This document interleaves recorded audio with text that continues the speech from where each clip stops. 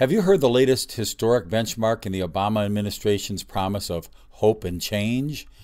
We have now reached yet another milestone, a 50 year high in poverty. That's right, 50 years after liberal President Lyndon Baines Johnson launched the $20 trillion taxpayer funded war on poverty, that liberal dream has become a nightmare.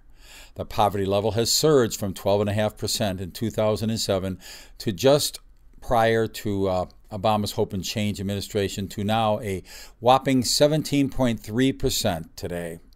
And that's using Obama's fudged funny numbers. Who knows how high the poverty rate really is?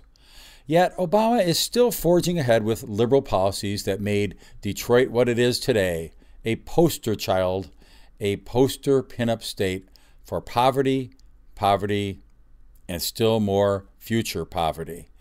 Ha all those grand liberal schemes that began in 1964 Medicaid, Head Start, and a myriad of big business, excuse me, big government anti poverty programs that ushered in more poverty.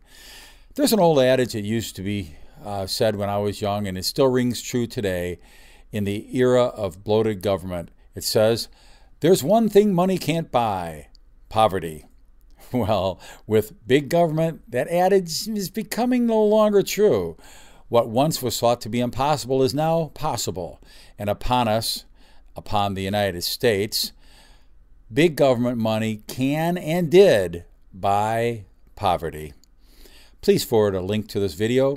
Hopefully, together we could wake up some of these people in our nation from their stupor and their addictions to failed big government policies. Thank you.